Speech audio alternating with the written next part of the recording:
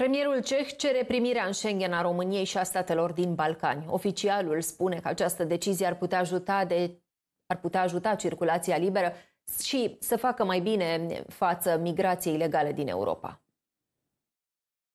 Premierul ceh Andrei Babiš a declarat într-un interviu acordat unei publicații naționale că își dorește ca România și statele din Balcani să fie acceptate în spațiul Schengen. El spune că majoritatea imigranților sosesc în Europa pe mare, așadar consideră că este absurd ca țările care controlează coastele europene ale Mării Negre și ale Mării Adriatice să nu facă parte din spațiul Schengen. Am mai spus până acum și la Consiliul European să aducem Bulgaria, România, Serbia și Croația în Schengen, să avem o strategie clară față de Balcanii de Vest și să apărăm Europa împotriva migrației ilegale la frontiera externă. Babiș șe de părere că membrii actualei zonei de circulație nu pot să îndeplinească misiunea de a oferi protecția frontierelor externe și libera circulație în interiorul Uniunii Europene. Șeful guvernului de la Praga consideră că în acest moment spațiul de liberă circulație nu este funcțional și nu a fost nici în 2015, atunci când au avut loc migrări masive. El spune că singurul care a apărat atunci frontierele Schengen a fost premierul Ungariei Victor Orban, care a construit un gard împotriva migranților. România încearcă de ani bun să adere la spațiul Schengen, din care fac parte aproape toate statele membre ale Uniunii Europene. Parlamentul European a adoptat în iulie rezoluția referitoare la raportul anual privind funcționarea spațiului Schengen, iar parlamentarii au spus atunci că a sosit momentul ca România, Bulgaria și Croația să se alăture spațiului de liberă circulație.